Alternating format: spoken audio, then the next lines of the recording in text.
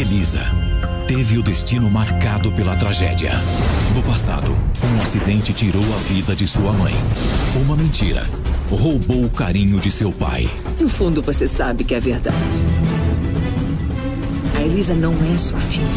O ressentimento levou para longe seu melhor amigo.